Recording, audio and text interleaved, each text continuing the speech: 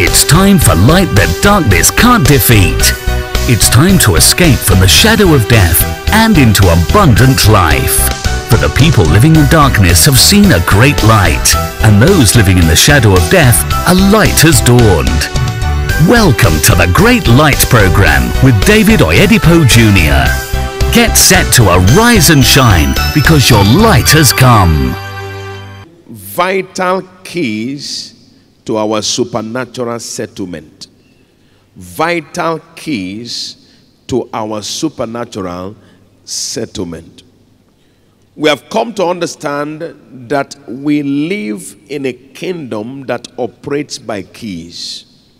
The Bible says in Matthew 16 19, I will give unto you the keys of the kingdom. Your command is determined by the keys at your disposal. In Luke chapter 11, verse 52, the Bible makes us to understand that these kingdom keys are the keys of knowledge. That is why the Bible says, You shall know the truth, and the truth will make you free. John chapter 8 and verse 32. Therefore, by the word of the Lord that we're receiving today, liberty shall be established for you in the name of Jesus. Very quickly, what are the biblical keys for your supernatural settlement? Let's look at a few of them swiftly this afternoon. Number one key is you must be born again. No life can be settled without Christ. Jesus said in the book of John, chapter 16 and verse 33, I have spoken these things unto you, that in me you might have peace. In the world ye shall have tribulation, but be of good cheer. I have overcome the world. In me is where you find peace. Until a man is in Christ, the crisis of life continue. He said, outside in the world, you will have tribulation. But if you're inside me, be of good cheer, because I've overcome the world. That is why we recognize that salvation is man's great escape from the calamities of life. Hebrews chapter 2 and verse 3. He said, How shall we escape if we neglect so great a salvation, which at first began to be spoken of by the Lord and was confirmed unto us by those that heard him. Until a man is born again, the crisis of life continue. But if a man is in Christ, something has changed about his position. He has moved from subjection to dominion. I see each one here exercising that dominion in the name of Jesus in Ephesians chapter 2 and verse 6, he said that he has, we are seated together with him and in heavenly places. And the Bible tells us where that is. He said it is far above all principality and power and might and dominion and every name that is named, not only in this world, but in that which is to come. So, by redemption, by salvation, I not only escape, but I am placed above the torments of life. The forces that unsettle others are under my dominion. If you want to know that place where Christ is seated, the Bible says in the book of Psalm chapter 110 and verse 1, he said, The Lord said unto my Lord, Sit thou at my right hand until I make thine enemies thy footstool.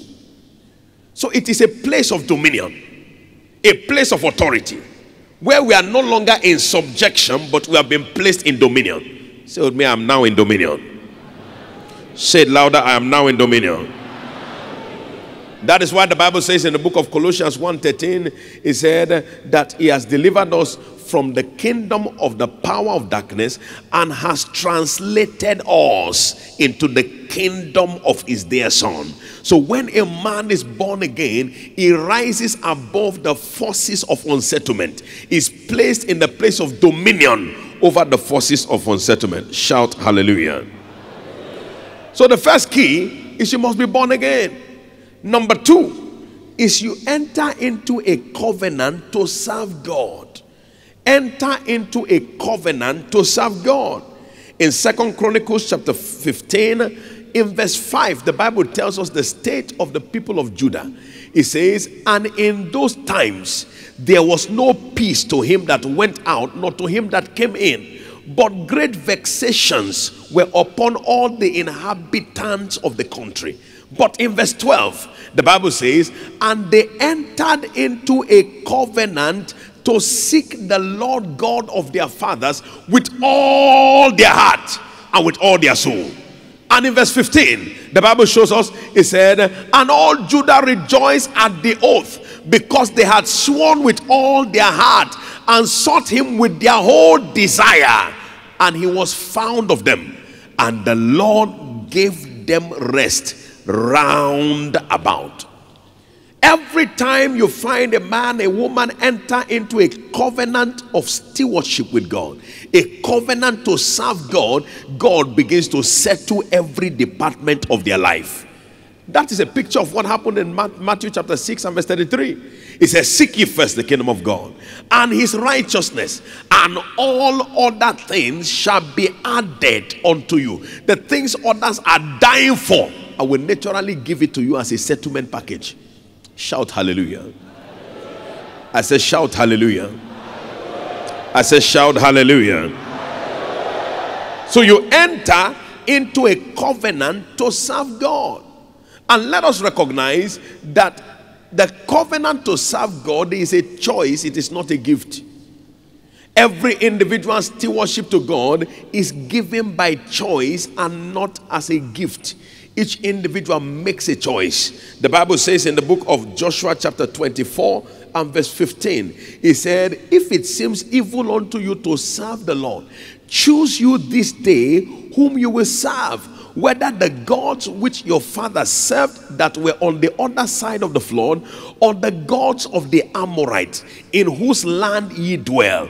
But as for me and my house, we will serve the Lord. That's a decision. So it takes a decision of every individual to enter into service. It's not a gift, it takes a decision. And when that decision is taken, there is no department that God does not settle. He settles your health, He settles your finances, He settles your family, He settles your career, He settles your academics, He settles your business. Every area is supernaturally settled when you take a covenant to serve God. Shout hallelujah. I say, shout hallelujah. However, if you look at that scripture closely, in verse 15, Second Chronicles chapter 15 and verse 15, you will see something unique about their decision. He said, For they had sworn with all their heart, and they sought him with their whole desire. They put everything in them in it, and he was found of them. They swore with all their heart and sought him with their whole desire. When you give God your all, He gives you His best. When you give God your all, they gave Him their whole desire, they gave Him their whole heart, and suddenly God began to give them His best. He settled every area of their lives. I see God settling every area of our lives in the name of Jesus. Particularly in this Matthew 6:33 revival that God has granted to us as you leave all other matters to focus on the matters of the kingdom, God shall be settling dramatically every area of your life in the name of Jesus. Number three, be planted in the house of God. Biblical key to supernatural settlement be planted in the house of God. The Bible says in Joshua chapter 21 and verse 13, Joshua 21 and verse 13. He said, Thus they gave unto the children of Israel Aaron, the priest, and to our suburbs to be a city of refuge for the slayer. The city of refuge, a place of hiding, a place of covering, a place of defense. In 2 Samuel chapter 7 and verse 10, the Bible says that I will appoint a place for my people. He said, and they will not move anymore. He said, neither shall the sons of wickedness afflict them anymore as before time. The church of God is a place of defense, it is a place of hiding, it is a place where you can take cover from all the assaults of the enemy. I recall the testimony of a brother who had all manner of frustration. His life was totally stagnated, nothing was moving forward. And somebody invited him to church. And according to him, he said, as he began to walk towards the church that was in London, suddenly he began to hear the sound audibly. He could hear the sound of chains physically falling from his legs. The closer he was getting, the freer he was getting. As he entered into Zion, the hole that had kept him stagnated all of his life broke in a moment. Why? Because upon Mount Zion there shall be deliverance and holiness and the children of winners shall possess their possession. You will not miss your portion in the name of Jesus. So we discover that Zion is the place of liberty. But if liberty will last continually, then it will take planting. Many people stop at Zion, so they find, I mean, they just branch in Zion and step out from Zion. So you discover that their liberty is also limited. Anytime a man is not planted, he enjoys only limited liberty. As soon as he's out, the enemy is waiting for him. But when a man is planted in the house of the Lord, the Bible said, it will flourish in the courts of our God. It shall be fat and flourishing. It shall bring forth fruit in old age to show that the Lord is upright and there is no unrighteousness in him. Shout glory. So, if you want to enjoy settlement, then there is a need and a necessity for us to engage and be planted in the house of the Lord. Number four, to enjoy supernatural settlement, you must return fully to settle down with God. Return fully to settle down with God. You cannot mix God with anything else. The Bible says in Exodus chapter 20 and verse 4, He said, You shall not make any graven image or the likeness of anything that is in heaven above or that is in the earth beneath for the or that is in the water. And verse 5, He says, Thou shalt not bow thyself to them nor serve them, for I, the Lord, I am a jealous God. And those who touch it, I visit their iniquities upon the children to the third and to the fourth generation of them that hate me. Every time you find people meddling inside occultism, meddling with anything that is contrary to God, you find the judgment of God visiting such individuals. And the Bible said it goes from the, the first generation all the way to the fourth. Anytime you are touching the unclean, you are affecting generations to come. Let's watch out. You cannot afford to continue to come to church in the morning and go to long roaded prophets in the night. You can't afford to do that. There are too many people mixing too many things together, and that's the reason for the affliction. Hear this if settlement will be your experience, then you must settle with God. You must settle with what? You must settle with God. You must settle with God. Some time ago, somebody came to see me, came with different members of the family. He said, This one, they said the wife would die. This one, they said, and I asked her, I said, Look at me. Who are they? And where are you going to hear these kind of things? It is because you are going all around to the wrong places. And when you go to wrong places, wrong things happen. Settle down with God. You can't be with God in the morning and be baptized inside Bar Beach continuously every night. You can't do that. The Bible says you cannot partake of the table of God and the table of devils. If you are going to enjoy settlement, then we must settle down with God. Psalm 16, verse 4. He said, The sorrows of them that pursue after other gods shall be multiplied. The devil can never give help to any man, he can only complicate his challenges. Watch out. Let us ensure that we settle with God. Anything that is trying to compete with the place of God is trying to introduce you to calamity. Therefore, ensure that you get rid of it. Whatever it is, get rid of it and keep your eyes on God only because your expectation is from Him. Shout glory. Well, the good news for you is that your year of settlement has finally come. I said, Your year of settlement has finally come. I said, Your year of settlement has finally come. Isaiah chapter 63 and verse 4 The Bible says that for the day of vengeance is in my heart, and the year of the redeemed is come. Say with me, it is my year. Say it louder, it is my year. And I like that he said the day of vengeance is in my heart, and the year of my redeemed is come. In other words, I've determined that it is the year of the redeemed. I've determined is their year of settlement. And in case there is anything that wants to rear its head against it, I've also determined vengeance against it. So the good news is this every force that is militating against your settlement, the judgment of God shall land upon them. Somebody believe it, say the loudest amen. I said, somebody believe it, say the loudest amen. The judgment of God shall land upon them.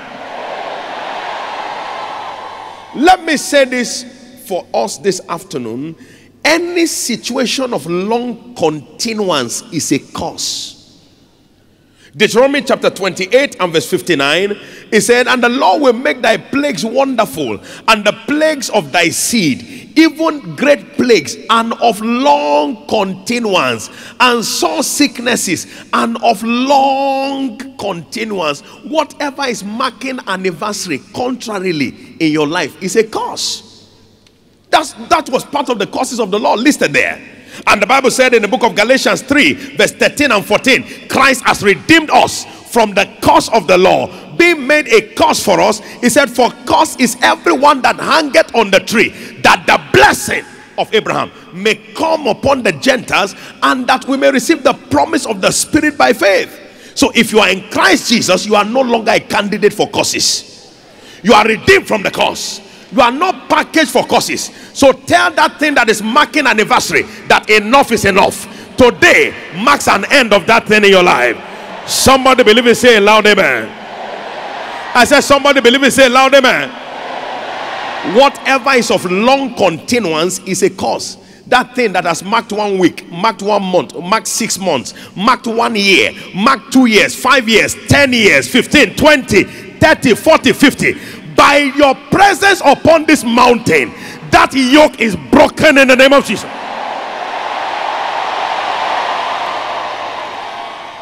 Now, hear this scripturally, no child of God is permitted to suffer beyond a while or a moment.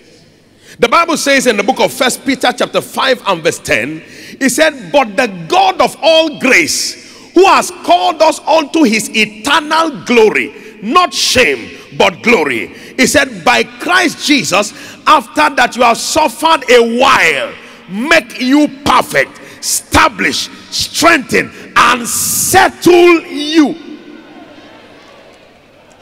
He didn't call you to shame and to reproach. He said he called you to glory. And he said, after you have suffered a while, Whatever has been making men mock your Christianity, mock your followership of God, today it is overturned in the name of Jesus. Nothing is permitted to stand beyond the while. The Bible also shows us in Second Corinthians chapter 4 and verse 17. It said, But our light affliction, which is but for a moment, it worketh for us. Say with me, it is working for me. Louder like you mean it is working for me it worketh for us a far more exceeding and eternal weight of glory. So one said it is for a while, the other one says it is for a moment, and it says that it is light and it must exchange for glory. The good news is this every shame and reproach is being exchanged for glory in the name of Jesus.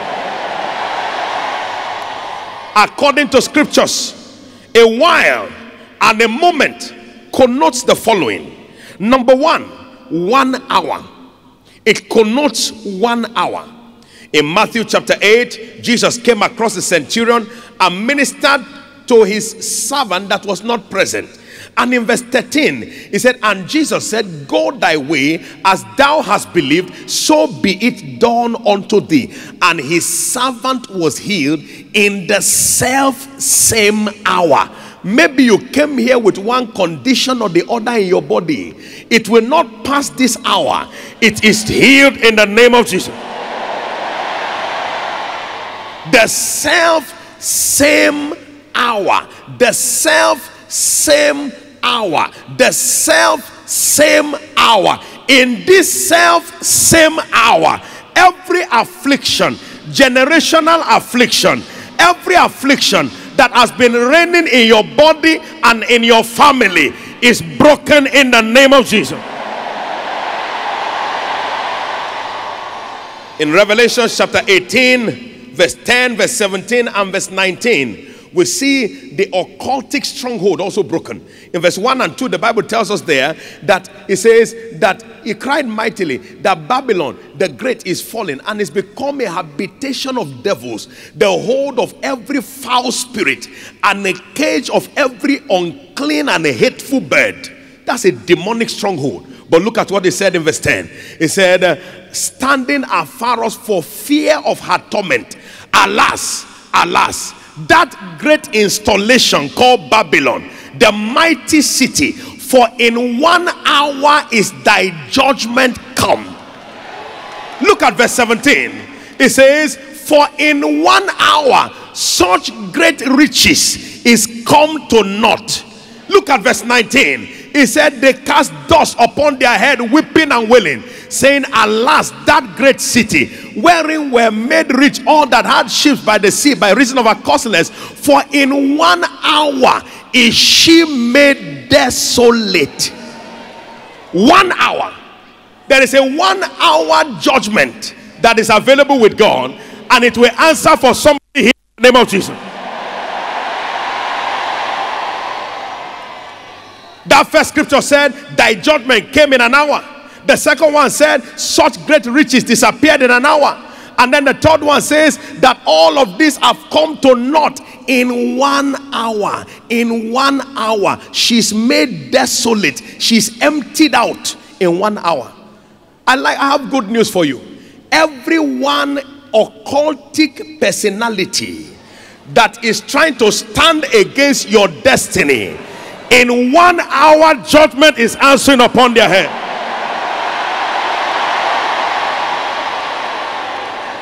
In one hour desolation is coming upon them. In one hour their stronghold is being destroyed. In the name of jesus. Somebody believe it say loud amen. One hour, one hour is more than enough time.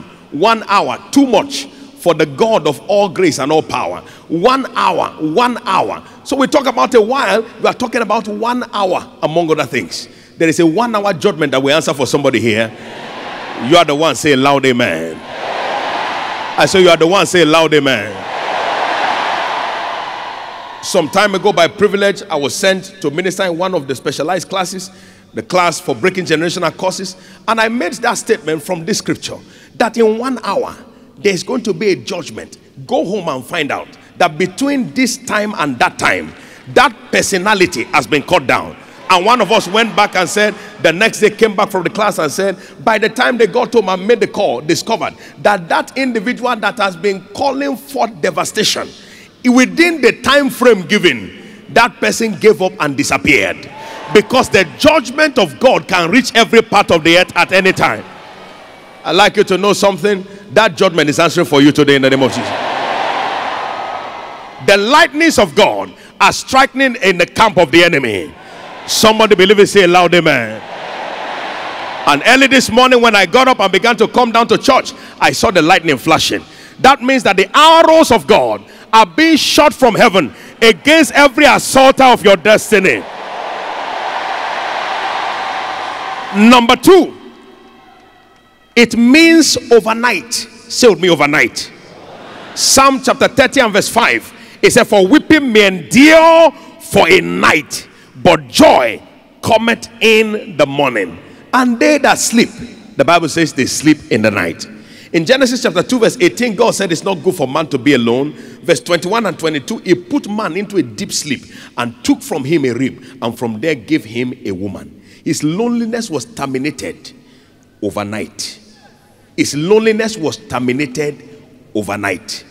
There are people here that no suitor has come near you at all, but you will go to sleep tonight and you will wake up in the morning, and there will be a mark of favor that people cannot resist upon your life.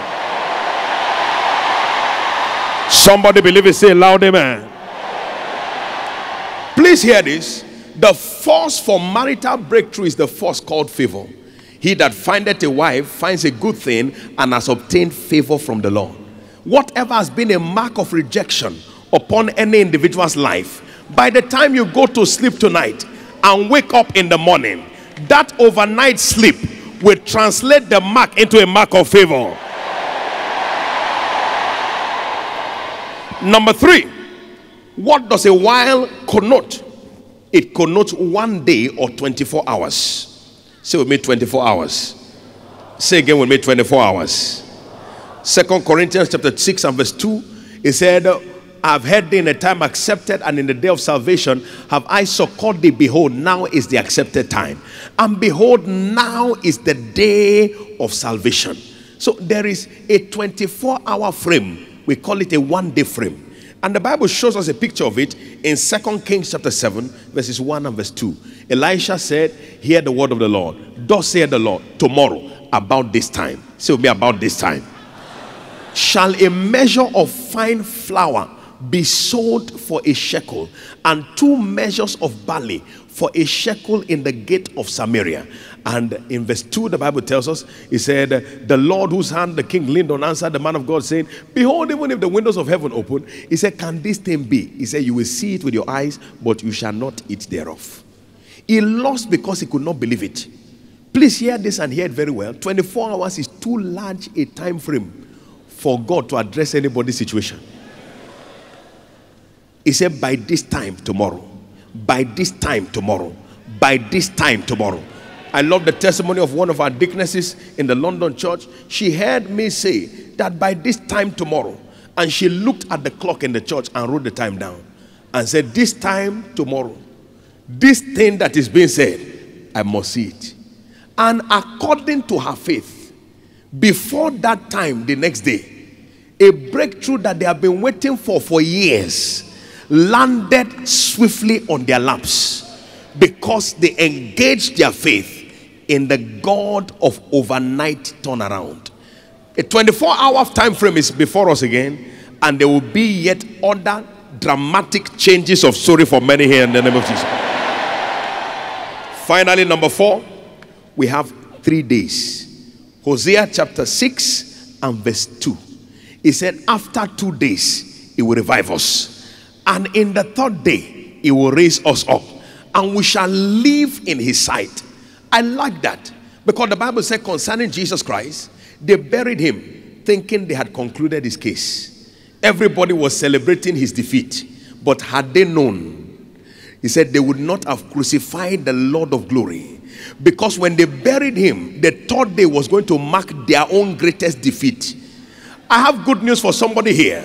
Maybe they have buried your case, they have concluded that you cannot make it, you cannot go far, you cannot succeed, you cannot break through. But three days from now, those that are looking for you in the tomb, they will not find you there again. I said they will not find you there again. Now, hear this. According to scriptures, we are buried with Christ in baptism and we are raised up with him in resurrection. The burial cannot be more than three days. So, whatever has tried to keep you beyond that, the Bible said the pains of death could not hold him. Whatever is trying to hold you down in that state of devastation, the power of resurrection is releasing you now. The power of resurrection is releasing you now. The power of resurrection is releasing you now. Somebody believe it, say the loudest amen. Three days. Three days. And there shall be a release. Three days. And the grave must vomit the personality inside there. Three days. and there shall be liberty. Three days, and there shall be a testimony. Somebody believe it, say the loudest amen. In the book of Ephesians, chapter 1, the Bible tells us there in verse 19. Ephesians 1 and verse 19. And what is the exceeding greatness of his power to us, what who believe? According to the working of his mighty power. Which one? Which he wrought in Christ when he raised him from the dead and set him at his own right hand in heavenly places. They kept him in the grave for three days, but when that power came, it enforced his release. And that same power is the one directed at you.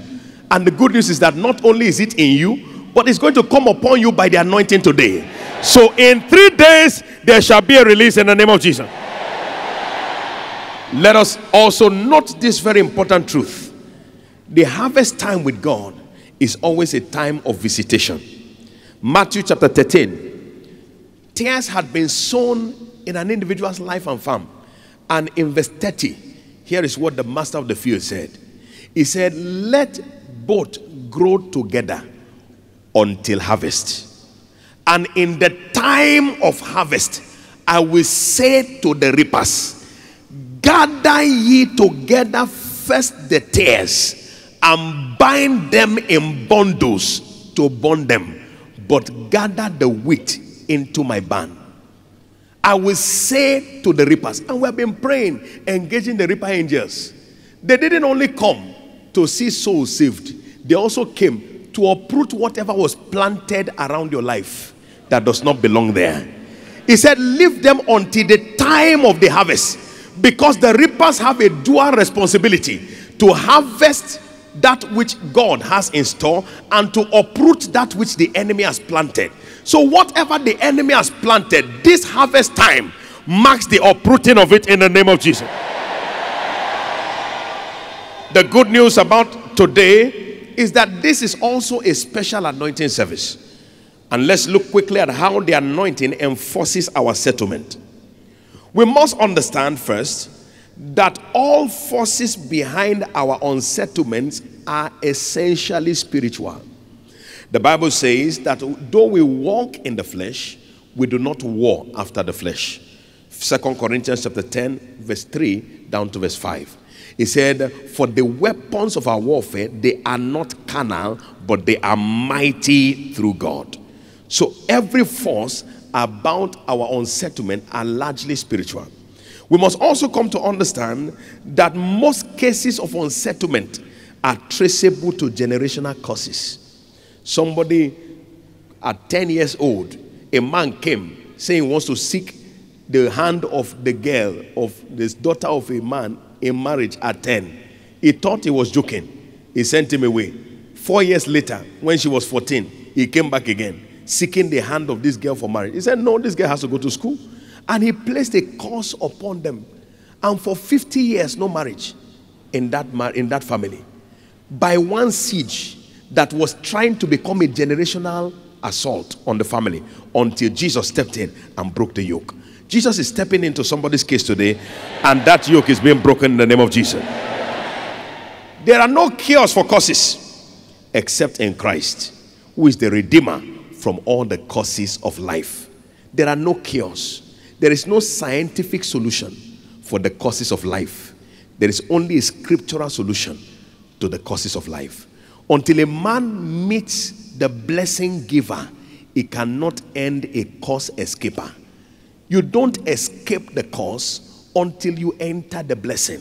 He said, Christ has redeemed us from the curse of the law, being made a curse for us, for it is written, Cursed is everyone that hangs on a tree, that the blessing of Abraham may come upon the Gentiles through Jesus Christ.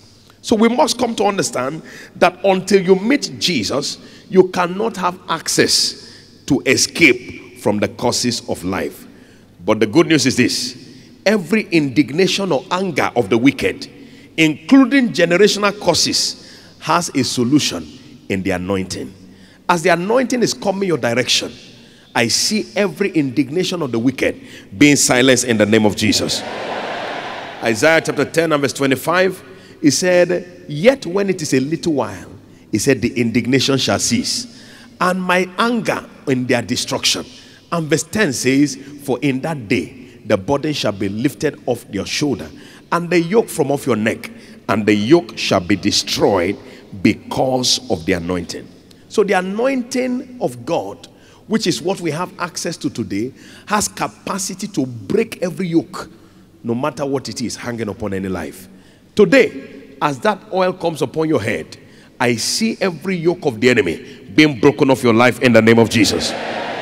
I said, I see every yoke of the enemy being broken off your life in the name of Jesus. According to scriptures, we are made to understand that the Spirit of God dwells within the anointing oil. In 1 Samuel chapter 16, verse 13, David was anointed with oil, and the Spirit of the Lord came upon him from that day forward. As harmless as that oil looks, it carries divine potency within it. The Spirit of God, once it is blessed, the Holy Ghost comes to dwell inside it and He manifests Himself through it. I remember that I was in a chemistry class when I was in secondary school, and the teacher came in with a brown bottle and inside a colorless liquid and lifted it and said, Look at this liquid. I looked at it, it was clear, colorless like any other thing. And he came to the chemical basin and took a piece of paper and poured the liquid on the paper, and the paper caught fire. From that day, I started respecting liquid. I discovered that something may look harmless, it does not mean it is powerless.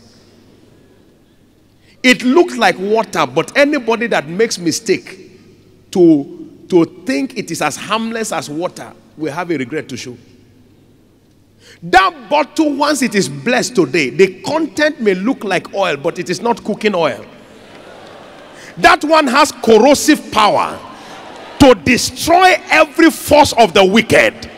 It has devastating power to break the yoke of the enemy. It has the power of the Almighty to destroy all lesser powers. That's what you are carrying in a mystery package in that oil.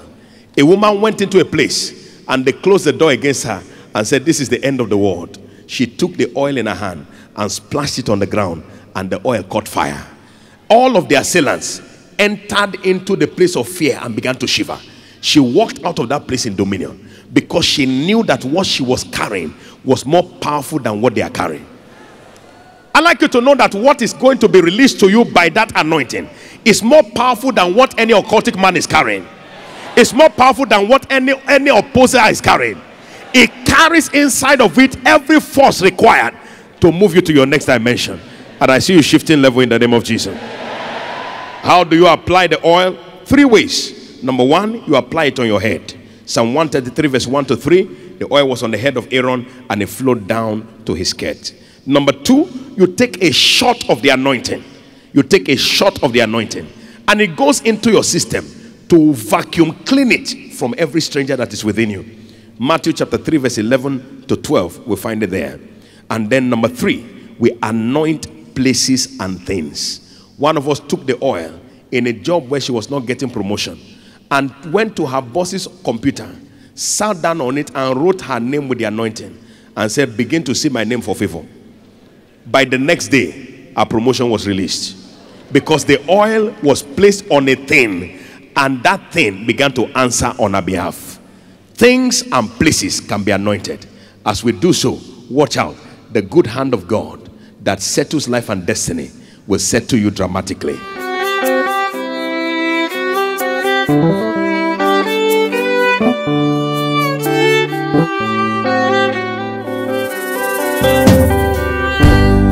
Someone's knocking at the door. Someone's knocking at the door. Can you hear him knocking? Can you hear him knocking? Jesus, Jesus, Jesus at the door. Say after me, Lord Jesus, I come to you today I know that I'm a sinner, but I know you died for me. And on the third day, you rose again. Jesus, come into my life. Be my Lord and Savior. Take control of me from this day forward. Now I know that I am born again. Thank you, Lord, for saving me. In Jesus' name, amen. Now I pray for you, Father. I thank you today for these precious ones you have drawn into your kingdom. Let the grace that has brought them keep them in the name of Jesus Christ. And Lord, for each one of them, we decree today that the barriers against their life and destiny be broken in the name of Jesus. Grace to walk with you all the days of their lives. Release it upon them. In Jesus' precious name, we have prayed. Somebody believe, say a loud amen. If you have just received Christ as your Lord and Savior or were blessed through this broadcast, we would love to hear from you. For inquiries and testimonies, send an email to info at tglmedia.org. We also invite you to visit one of our Winners Chapel churches near you anywhere around the world. Until next time, keep walking in the great light.